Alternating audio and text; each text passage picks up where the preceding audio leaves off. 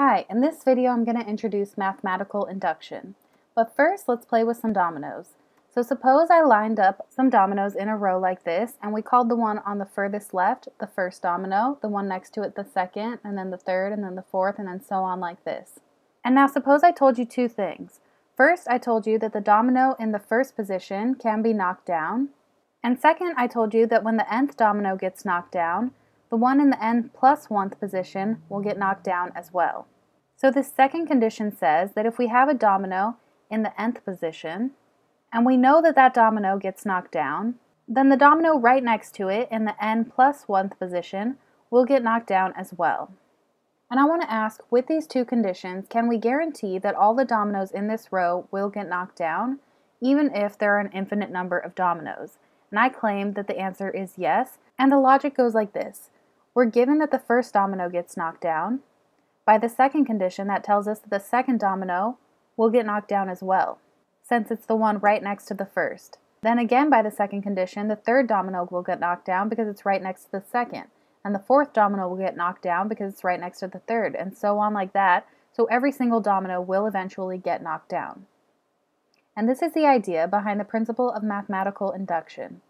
So the principle of mathematical induction says that if we have a list of statements, which we call P sub 1, P sub 2, P sub 3, and so on, all the statements are true if we have two conditions satisfied. First, if we know that P sub 1 is true, and that's what we call the base case. And second is if P sub n plus 1 is true whenever P sub n is true. And that's what we call the induction step. So if we can show these two conditions are satisfied, we can prove that a list of statements, even if the list is infinite, are all true without actually having to prove each statement individually. So this can be very helpful when we're looking at proofs involving infinite cases. Let's look at an example. In this example, we want to prove that the sum of all the integers cubed up to n cubed is equal to the sum of all the integers up to n, all of that being squared, for all positive integers. So in this example, our p sub n is just this statement here, and we would get our list of statements by just replacing the different integers with this number n here. So let's go ahead and start our proof. First we have to start with the base case, and our base case would just be that 1 cubed equals 1 squared, which is clearly true, so that's good.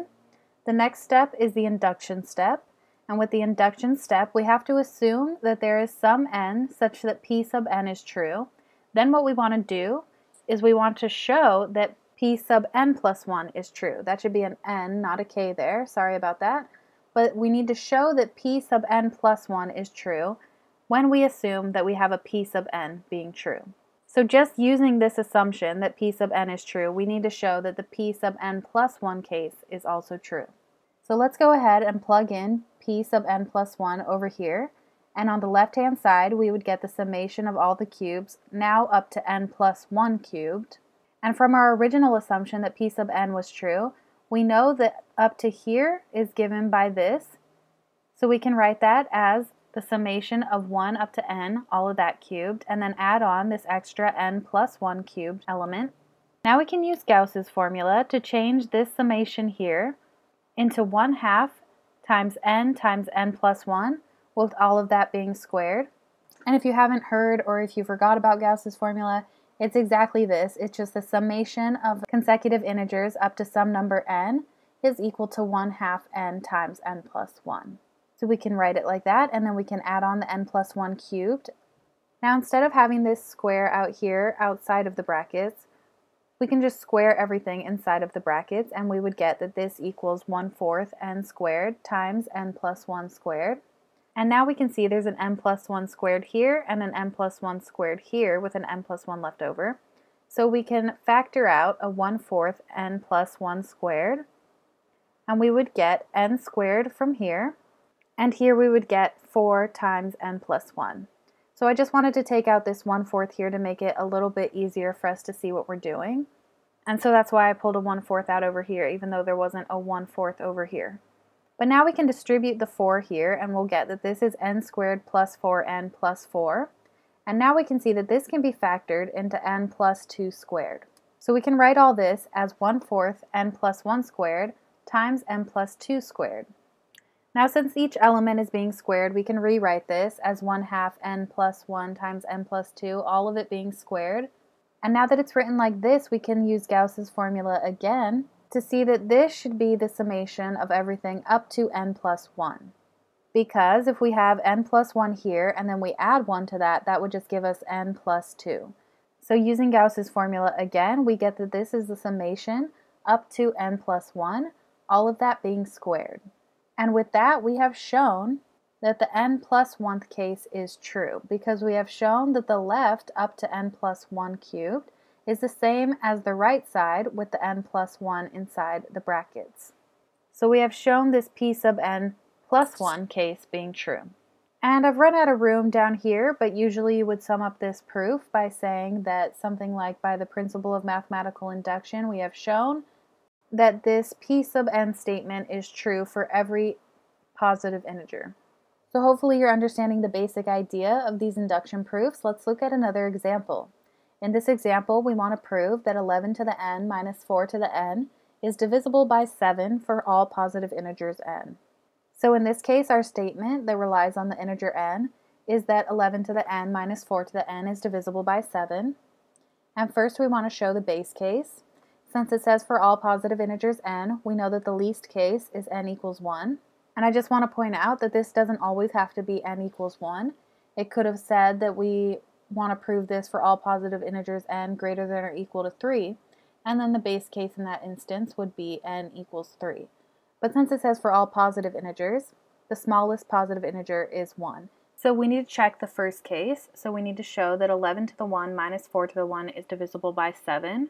But clearly 11 to the 1 minus 4 to the 1 is equal to 7, and 7 is clearly divisible by 7, so this base case is true. Next we need to show the induction step. So we have to assume that there is some n such that p sub n is true, and then we have to show that p sub n plus 1 is true as well.